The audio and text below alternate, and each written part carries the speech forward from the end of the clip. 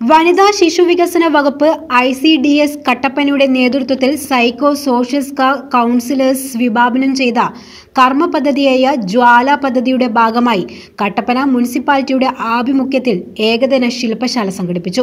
നഗരസഭാ ചെയർപേഴ്സൺ ബീന ജോബി ശില്പശാല ഉദ്ഘാടനം ചെയ്തു.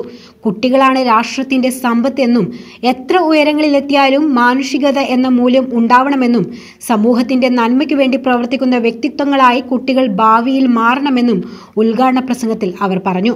മുനിസിപ്പൽ കോൺഫറൻസ് ഹാളിൽ നടന്ന യോഗത്തിൽ ക്ഷേമകാര്യ standing committee chairman Manoj Murali അധ്യക്ഷത വഹിച്ചു. ഡി ഗീത എം മുഖ്യപ്രഭാഷണം നടത്തി.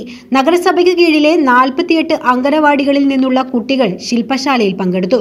കുട്ടികൾക്കായി ഐ സി ഡി എസിന്റെ നേതൃത്വത്തിൽ നടത്തിയ പോസ്റ്റ് ഡിസൈനിംഗ് മത്സരത്തിൽ വിജയികളായ കുട്ടികൾക്ക് ചടങ്ങിൽ മൊമെന്റോ സമ്മാനിച്ചു. ശൈശവ വിവാഹ നിരോധന നിയമം എന്ന വിഷയത്തിൽ പ്രീത് ഭാസ്കർ ക്ലാസ് എടുത്തു.